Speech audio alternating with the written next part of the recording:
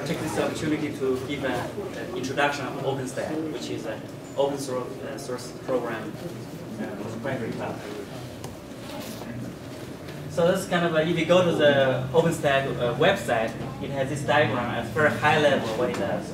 So basically, um, what it tries to do is to build a private cloud solution on top of uh, you know, standardized uh, hardware, which is um, you know, uh, Intel x86 uh, you know, hardware. And then you know, its software technology to uh, implement either compute, networking, storage functions, and then provide APIs to um, different applications. In the meantime, it has a dashboard. So it's a high-level kind of a diagram of uh, what you know, the system is. Now, um, since this is an open source program, you know, a brief uh, notes on history. Um, it's actually a relatively young project. It's created uh, back in 2010. At the time, Rackspace was uh, considering rewriting some of the infrastructure code, and then they're considering open sourcing. You know, that's uh, um, they have at the time a code file, which today becomes an object store and a Swift code base. And uh, NASA at the time um, also has uh, what is called a, a NOVA code, which is uh, for the uh, the VMs. So these two efforts are going at the time, and then they were thinking to open source uh, together. So that's why um, they converged and formed the base for OpenStack at the time, you know, back in 2010. And there was a design summit, you know, held in um, Austin um, in July of 2010, and later on, you know, the official um, program was launched at uh, you know, the OSCON conference, which is a, a O'Reilly open source uh, conference. So that's kind of the history. And uh, you know, OpenStack um, is uh, using a six months cadence for the project release. The idea is that every six months you're going to try to release a, a newer version. And, and the release, the number alphabetically start from A, you know, because this comes the origin of uh, um, of the program in Austin. So that's why the first release happens to be you know uh, Austin. And then you know there is uh, you know an A, B, and then you know and then move on. So basically, initially they have uh, only kind of a simple Nova and uh, you know, a Swift code base, and later on they add new modules. So as you can see, you know, and right now we are actually this is actually outdated. You know, there is a keynote release uh, back in April, and in October um, last year it was uh, what's called a Liberty release, an AR release, right? So that's uh, the basic uh, timeline of the project. So um, this something uh, related to the uh, recent events, you know, and the Liberty release was uh, released uh, uh, October. what happened is they will hold a design summit after the release. For example, this you know, the next release would be Mitaka. Then they have a, a, design summit after the Liberty release. So that was actually um, happening in Tokyo back in um, October. So similarly, the target date for the uh, Mitaka right now is April, and then after that it's going to be a design summit. I, I think this time um, the design summit is going to be in Austin again. All right. Now, um, the mission of the program is try to, you know, uh, I, I gave a, a quote here, you know, try to produce a, a, a ubiquitous uh, open source cloud uh, computing platform that will meet the needs of public and private. So it's uh, actually quite an aggressive goal, you know, public and private. And, and then, you know, uh, by being simple to implement and massively scalable. So that's kind of the mission of the uh, program. Of course, it may not be easy to uh, achieve that, but the community is trying to, you know, take this as a mission for the program. And this is an open source program, and, um, and it actually promotes what is called four opens. Uh, one is that uh, it is open source, you know, it's using the uh, Apache license uh, 2.0, which is uh, um, you know more like a, a liberal uh, open source license model. And the code is on GitHub. You know, the namespace is OpenStack, and there's many different projects, you know, under the OpenStack. the other, the second open is open design. So uh, as I mentioned, there is every six month design summit, you know, open to you know the public, and also you know user developers or upstream project will gather together and then have discussions and then you know and share the design concept for the next release. So it's kind of open model, open design model. Another open is open development. So they have a public code repo, you know, it's kind of a, a Gerrit, the code review. And they also have public uh, and CI infrastructure and kind of um, organized by the community and then served to the public. Right? So it's open development. Another, another one is open community. You know, so basically the, the project, uh, individual project is actually, uh, there is a democracy where you at every cycle, uh, people who actually contribute more to the code, they, they, have, they can vote uh, themselves for the core member of the project.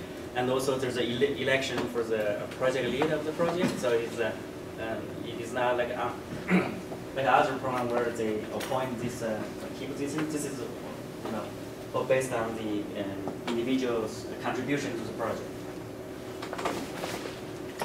And uh, project meetings, you know, they use IRCs or GoToMeetings, ISO, and, and also they record the, you know, uh, the history of that. All right, so that's about the four opens of, of the program. Now, um, here uh, I just give high-level introduction of some of the core services, and I think my friend Xin is going to dive into uh, Neutron, the networking um, components later in a separate uh, topic. So uh, my introduction is at, a very high level. So uh, these are the, uh, some of the core components. One is called Nova, that is kind of a compute services. So it manages the lifecycle of uh, you know VM instances in an OpenStack cluster. So it will handle the tasks like uh, how to spawn a VM, how to schedule, and uh, how to decommission, you know, uh, this, and then according to certain policies, for example. You know. Um, and here is kind of uh, you know the history, the maturity of the um, of, of, the component. You know, it has been uh, available you know for six years. It's one of the first uh, component in the OpenStack program. And there's a Neutron, which is, um, as I mentioned, you know, Xin later is going to give more detailed introduction of that. You know, so basically, it's trying to provide APIs, you know, for the virtual networking, and, and then know, the Swift is an object store, and that's uh, you know provide uh, something similar to um, S3 services, where you have uh, you know URL uh, reference to different objects, you know, and then it has like a scalable architecture, and also the data is internally um, has replications and things like that. You know, this uh, um, three of the core services. And the other one is what is called Cinder. This provides a, block storage for the um, um, VMs. Now Cinder, um, there is another, um, if you're um, watching the uh, open source development, there is an open source program called Ceph, which was uh, uh, started by UC uh, Santa Barbara uh, research uh, program. And then later they got purchased by, it got acquired by Red Hat. So right now, um, Ceph is usually used as a backend for the Cinder. So this is very common. Um, you commonly use the configuration of OpenStack with, with, with uh, uh, Ceph uh, providing a block and a service. And there is another um, uh, core service called Keystone, which is actually uh, the uh, identity and access control management for different users, different services. And so almost all services has to use Keystone for like either um, query about service endpoint, you know, like user access control, and, and security related services. And the Glance is uh, another core service that used for um, like image services. So for example, if uh, um, in Nova VM, you know, you want to put a particular uh, VM with specified uh, images. So this is actually the backend service store for uh, different VM images. All right. Of course, uh, the back backend storage could be Swift or could be Ceph. Because Ceph also provides uh, object store interface uh, to external systems. All right, so that's uh, about you know um, six core services. Um, now, since private cloud is actually a complex you know, problems, and then you this six services alone probably won't you know get it. So that's why um, last year uh, OpenStack uh, community adopted what's called a big tent model. So the idea is that uh, we have this core services, but we encourage community contribution for ecosystem, like related the service built um, around the core services. So this is actually um, called big Change.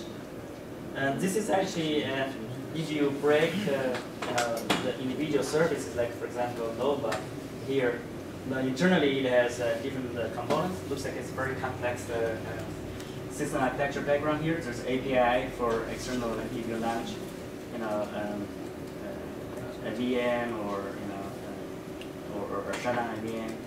And there's also um, Nova Compute. This is actually um, the module that works with uh, different uh, hypervisors, like libvirt and other underlying kind of hypervisors. So this actually uh, Nova Compute is the interface to those uh, you know subsystems. And of course, it has an internal database, it has an internal kind of a queue, and MQP-based uh, queue, that's for the internal uh, communications.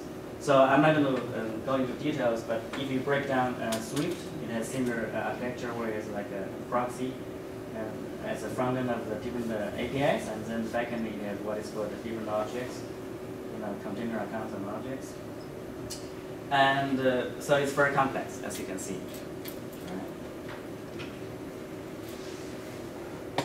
And this is just an example of Keystone service. As I mentioned, uh, it is actually a key component where uh, a lot of other services rely on Keystone for uh, user authentication authorizations. So internally, it has uh, you know different uh, you know, policy backend kind of for the rule-based authentication. there is a, a token-based backend. And so what happens is um, Keystone services can use its own internal, let's say, database or internal um, um, services um, to answer the query from uh, different services. But in the meantime, it actually supports external backend. Like for example, in the identity backend, you could uh, interface with Active Directory or, or OpenLDAP and other other systems. And uh, you know, um, okay, so that's. Uh, about uh, some of the major components of uh, Keystone services. Um, this uh, diagram shows kind of a sequence diagram of uh, when a user tries to create a VM uh, using, for example, Nova API, right? So um, what uh, a Keystone will playing a role in these different steps. So user make provide credentials, and then Keystone, what it does, it, it issue a token to the user the token will contain the information about the user, about the you know, identity of the user, about the kind of property for the authorization purpose. And then when user try to uh, make a call to Nova API, Nova is going to verify the token using the Keystone services so that, uh, you know, of course, there is a trust uh, pre-established between Nova and Keystone. And then once the token is verified, you can go ahead and create the, you know, uh, VM, in, uh, VM instance and of course, you know, this uh, particular VM would require, let, us say, glance for the you know, download the image for the initial uh, VM, and also you may need uh, you know different uh, virtual ports and interfaces for the Neutron. So similarly, um, and you know, Keystone is playing a role here for the uh, verification and authorization.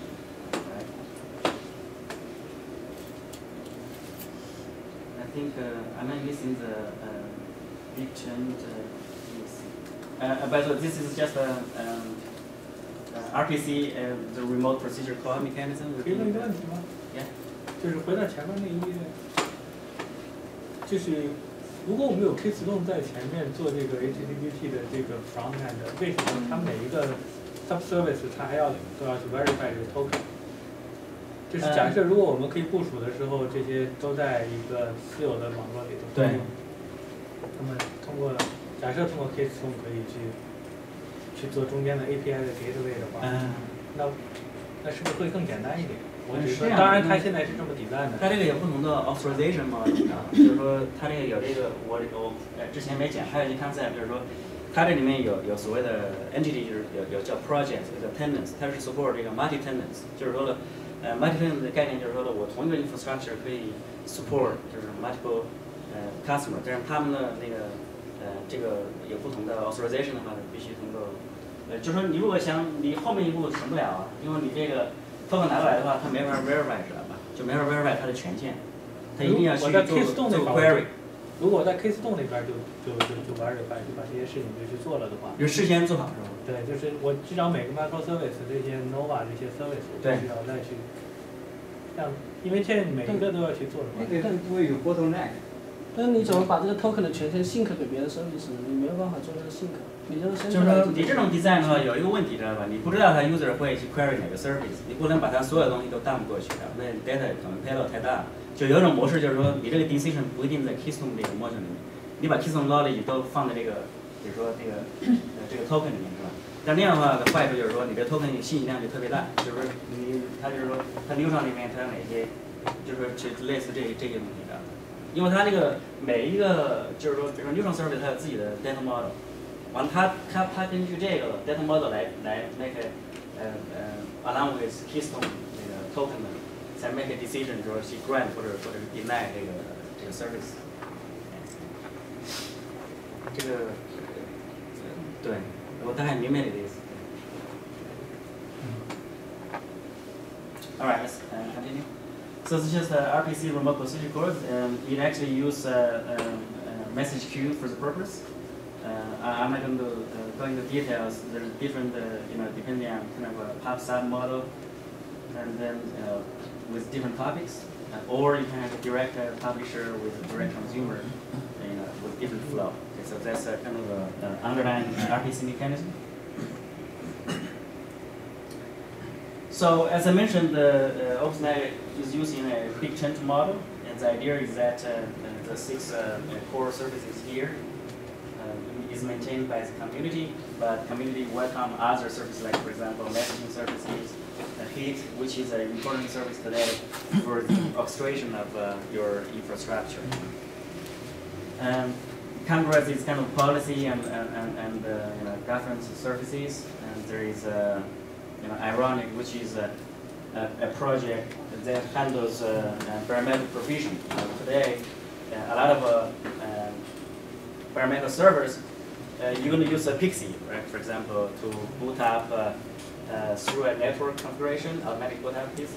Uh, but then Ironic is uh, providing an alternative way of, uh, you know, uh, similar to PXE, but rather than like uh, using the PXE to download the file to in- install the OS, they, they, they try to uh, write uh, this image directly to the uh, to the bare metals. So it's a different approach.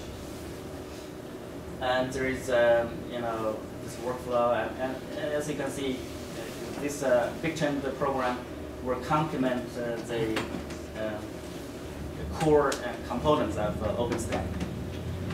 Now, as you can see, that's uh, becoming uh, quite a complex uh, you know, program you know, with uh, this many uh, different uh, you know, core and uh, you know, optional services.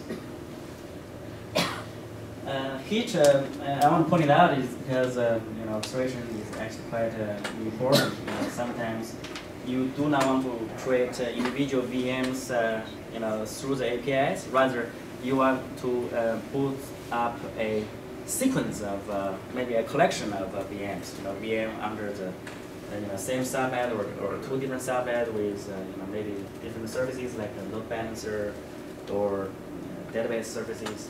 So what uh, um, I, don't know um, if uh, um, you're familiar with uh, Amazon. There's cloud formation, right? Similar concept.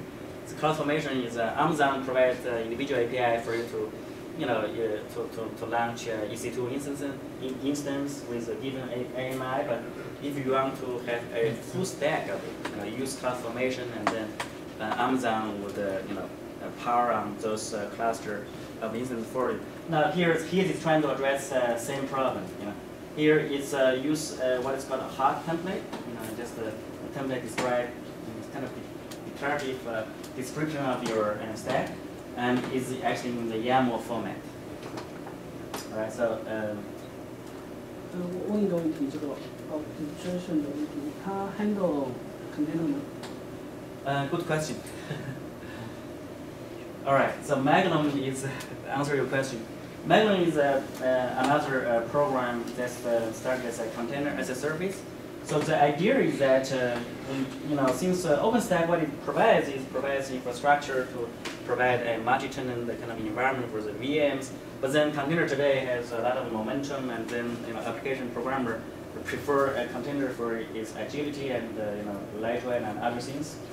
So um, Magnum started uh, to address you know the problem for you know what if I need a container, right? So that's uh, um, you know it's actually a relatively young project. It started uh, I believe uh, just last year. Yeah. So you try to use uh, you know API you know um, for the Docker and Kubernetes backend. So basically kind of pluggable backend for your for your containers. Um, and also you try to use a HEAT template, you know, to deploy services. So you try to unify the API and data model, and also in the meantime you try to provide multi-tenant support because the container, as of today, this multi-tenant support is uh, very uh, limited. Yeah, so um, Magnum project is trying to um, address that issue from OpenStack, uh, you know, um, perspective. So that's uh, the container uh, service program. So that's kind of a uh, high level uh, architecture of the Magnum services. As you can see, this this part is actually the external part, and this part is a Magnum controller, and this is OpenStack HEAT and uh, OpenStack core services. So uh, it provides API so that you can call the API or you know pass the HEAT templates, and then and, and then uh, in the in the backend it will uh, make a, a call to whatever the pluggable backend for the container um, you know management. And uh, you know, again, this uh, is a very high level, and uh, you can check out you know, Maglum project. Now, um, every vendor, like for example, major vendor like IBM, Red Hat, and uh, Cisco. 我再问一个问题，因为 container 之后会有一个 networking 的问题，networking container networking 的 resource control 就 management 是比较 tricky 的。我不知道那个吴昕会讲吗？ no, sure, yeah, you're, you're, you're. And anyway, so as I mentioned, uh, every major player like Cisco, you know, including Huawei, I work for Huawei, and other companies uh, spend a lot of resources on um, OpenStack. Now, but OpenStack has this big tent uh, model. Like, how do we make sure that you know things from different vendors can cooperate, you know, and, nicely. So um, the community has a, what is called DefCore uh, certification program. So the, the idea is that uh, you know it defines some common requirement. You know, for example, your API has to be compatible. And you know, you may add vendor uh, plugins, but uh, you know there must be certain test case you have to pass in order to be qualified as a you know powered by OpenStack program. So the program is using a powered by OpenStack or OpenStack powered logo. So you have to pass whatever know, hundreds of uh, test cases for the DefCore in order to be um, qualified for this program. And as I mentioned, you know, OpenStack infrastructure team maintain a kind of CI for the community, and, and then uh, it's very similar to other CI and components with Jenkins and uh, Gerrit and things like that. There, there is a there's a Zuul, which is a, I believe is an open source uh, program by by the OpenStack team. You know, um, this is just a, a high level uh, architecture for the CI infrastructure. Um, I think, uh, you know, I, I don't know, how much time do I have? Uh, should have at least, uh, it depends on how long. Okay. So um, this is a very high level uh, of OpenStack, you know, um, and uh, here I want to take the opportunity to introduce uh, another topic. Uh, I'll go over uh, rather quickly. And this is OpenStack deployment. Because uh, when you look at this, there are so many different components, and each individual component, nobody, if you open it up, if there's so many different services, and each service would have different config files with, you know, a lot of configuration parameters. How to manage that, right? So, introducing Compass. Sorry, this is my project. So, this is actually uh, started from Huawei, and then is open source program. And our slogan is directing software-defined infrastructure you know, I think Google has the concept of data center as a computer, right? There's a book by, and, you know, these, uh, you know, a few Googlers. The idea is that you have to work uh, house scale uh, machines, but you, you treat every kind of uh, uh, overall data center as a computer. When you think about it, if OpenStack is the infrastructure for the data center, then you need some tool to boot up your, your computer, right? Now, traditionally, you use a CD-ROM to boot, you know, uh, a computer. Here, Compass is trying to play that role. In other words, to boot up a data center with OpenStack as an infrastructure for you from scratch. Uh, so you try to put up an operate software-defined infrastructure. Current support OpenStack and its related ecosystems. And then, you know, um, it has two aspects of it. One is the software configuration deployment. The other one is uh, monitoring and troubleshooting. And, uh, you know, if you're familiar with uh, uh, Google's DevOps concept, you know, this configuration and deployment is continuous process. You know, you, you, depending on your monitoring, depending on performance uh, metrics, you may go back and uh, reconfigure or, you know, redeploy your applications. So we follow some of the design principle, you know, try to take a holistic approach for infrastructure management. Here, traditional data center, uh, like for example, as I mentioned, we use PXE to put a, a you know, OS and then use Chef or Ansible or different configuration management tools to manage your configurations or software uh, installs. And we try to model that uh, as a unified view, you know, through, um, through our APIs. In the meantime, we provide a programmable framework provide a RESTful API so that uh, you can actually drive the deployment uh, from another program, from OSS or other systems. And also we provide a plugin architecture. I think uh, I'll skip some of the um, detailed information here. So we, as of today, we support like a, a of Ceph. As I mentioned, this is a distributed storage. Usually provide a, a block um, uh, storage for OpenStack similar backend. And there is a um, OpenDaylight, which is a, an SDN controller open source program started by Cisco. And OpenContrail is a startup and later got acquired by Juniper. So we support the OpenStack with Ceph or ODL or OpenContrail. Uh, we hide the details from the user because as I mentioned, there's hundreds of parameters and it's infeasible for cloud admin to manage that. Um, we also, you know, open, you know, just follow the four open model of uh, OpenStack uh, community.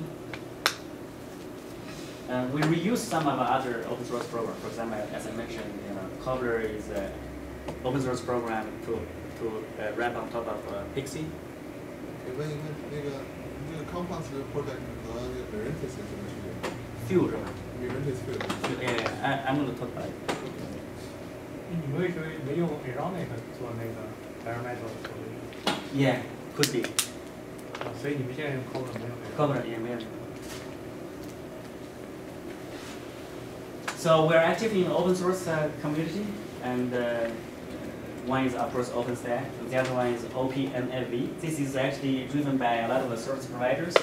Uh, actually, my full-time job is actually to help Huawei manage OPNFV program, you know, uh, in, in the community. You know, this is started by a company like AT&T, and and uh, you know, vendors like Ericsson and Huawei, and uh, China Mobile is also uh, very active in, in, in this. And uh, if uh, um, so, uh, Compass is actually um, promo- uh, proposed as an installer for the OPNFV program. So in the OPNFV program, you know, the installer we're competing with like a Mirantis Fuel, you know, and, and the Juju from Ubuntu, and this is uh, you know, the next release is actually coming soon. So I have a team of engineers working very hard to towards this goal, which is uh, you know, coming soon. So we also use uh, Apache license coming from GitHub. This is our, our uh, we try to enter the big chain, so we are using the OpenStack uh, namespace. So Compass Core is uh, is, a, a, a kind of core component. This is actually written in Python. Python is a programming language. So this kind of architecture, you know, for the high level. So notice that the dotted box, we call it Compass Core. What it does is provide APIs to the external, you know, uh, programs. It also has metadata, you know, to describe and model the configuration of a very complex system like uh, OpenStack or Ceph and ODL and other things. It has an internal database, of course, and then there is some internal building blocks for like messaging and uh, workers and things like that. But then functionality can be divided in three uh, major areas. One is resource discovery, because in data center, you know, to, to manage like a MAC address itself is a very painful thing, right?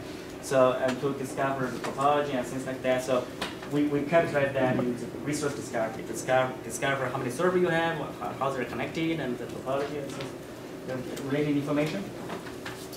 And uh, here's is always provisioning, as I mentioned PXE, and the package management is uh, for like, uh, different uh, tools that uh, some of you may uh, be familiar with. So uh, as I mentioned earlier, we try to uh, use a, a plugin uh, architecture. So all this functionality is actually um, a plugin to Compass Core. So for example, uh, you know, you ask if uh, we can use uh, Cobb or Ironic for the OS provisioning, right? So that actually could be done through a plugin. So we just uh, didn't have a resource to do that, but uh, our architecture and code base is ready for that. You know, and similarly, um, know, we today we use SNMP based. You know, there's some like uh, and uh, you know, LLDP and other kind of uh, protocols for discovery. But you know, we also support IPMI, which is a common interface to manage uh, you know, hardware. And Intel uh, has a concept called rack scale architecture. We actually did a POC with Intel. Uh, so what is RSA? So the Intel is saying that uh, today you have a server, as you're familiar with, right? A server would be a rack server or a blade server, where it has CPUs and RAM and, and things like that. But Intel is saying that for the future, you may no longer have a server, as, as you're familiar with. So what you have is uh, you have a, a, a you know a cabinet of uh, CPUs and RAMs, and then through high-speed, high-efficient interconnect, you can on-demand compose a server. So for example, you know you have a rack of CPUs, and then right now you need a, a server with two CPU, 64 gig of RAMs.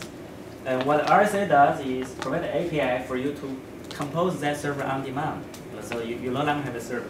So this is- which is a, a kind of innovative uh, concept. a lot of hardware vendor, uh, like Huawei, for example, we have similar concept, but we don't we don't follow RSA. But Huawei has similar kind of uh, research in, in, in toward that area. The idea is that tomorrow you may not have a server as we, we know it today. So we did an uh, uh, integration with them through the plugin mechanisms. Um, this too much uh, technical details. I think uh, I may want to skip this.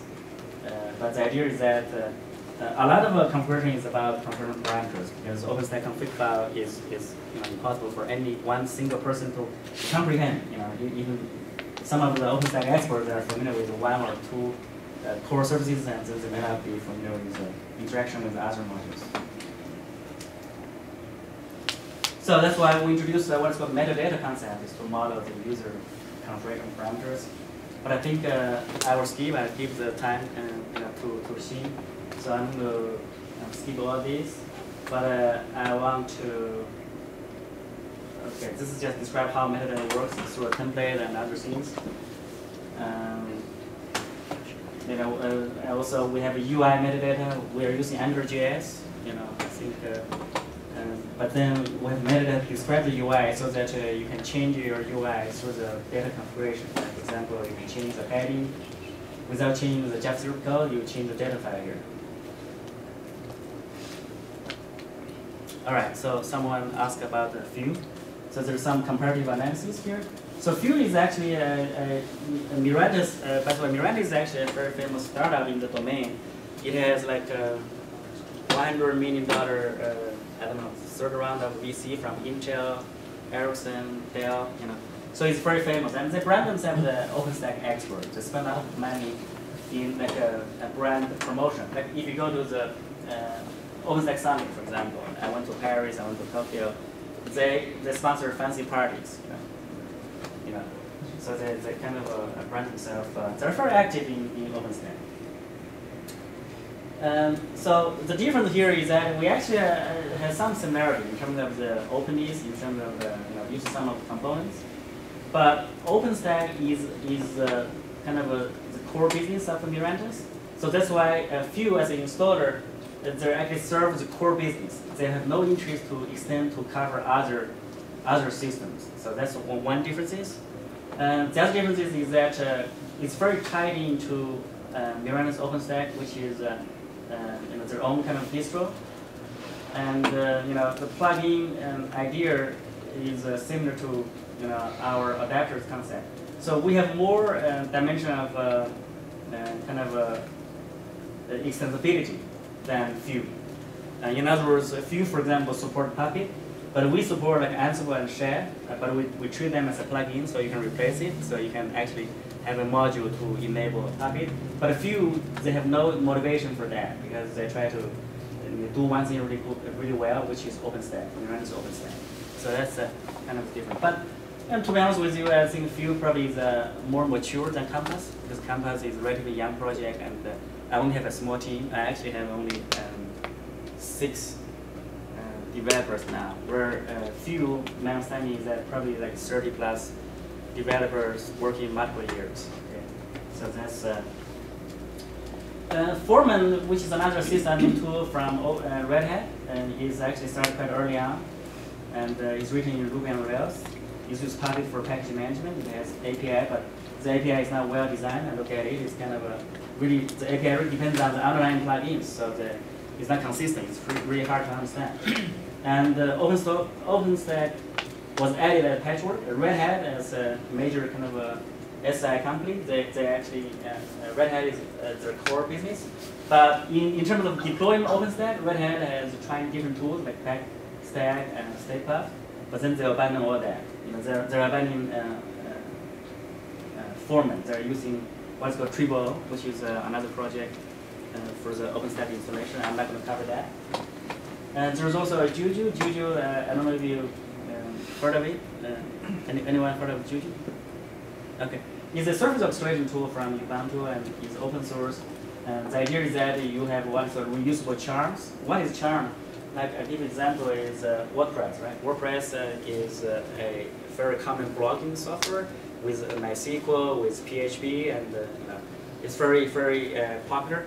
So how to deploy, uh, let's say, WordPress, right? So there is uh, this charms concept where you have a YAML config file, you specify what's your connection between your DB tier and your web tier. You do you use Apache for your web tier or do you use Nginx? And, and, and then you know, Juju will deploy that configuration or install the software package for you, right? So as a framework. And the challenge is reusable. So which is a, is a fine framework, I, I think, in my, in my uh, opinion. But OpenStack support, however, uh, with Juju is very complex. Yeah, because Juju is a generic framework, it's not specifically designed for OpenStack. That's why it has like a, you know, really UI you can drag and drop and uh, you can configure. But then in order to use Juju, you have to change a lot of config files, and then it, is that, uh, in my, in, you know, in my opinion, is, is pretty less that user friendly. And there's some demo. Uh, uh, you know, if you, this is our this is our Compass uh, web UI. We're using AngularJS as a front end. Uh, actually, this is a key message today. we need help. Uh, okay, as I mentioned, the Compass is an open source project. So we, we, we are looking to this. We have I have a small team. I only have six people, but uh, we're looking at ELK for log management and analysis. ELK, for those who don't know, it's, a, is kind of an search and Logstash and Kibana. It's kind of very commonly used tools for the uh, log management.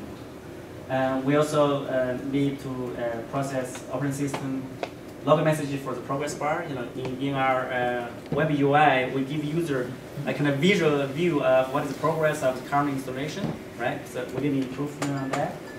So with OpenContrail integration, OpenContrail, we support the basic configuration, but uh, if there's, a, you know, OpenContrail expert, uh, welcome your uh, help. And there's Ironic, and you know, uh, integration as we mentioned, you know, we could use Ironic, but just I don't have the resource to do that. And there's a, related topic is uh, microkernel. The idea of this is that uh, we can uh, discover um, the uh, resource at more granular level. Not only we discover the MAC, the topology, but also we discover how many you know, hard disks it has, what, how many you know, interface card, and, and, and things like that.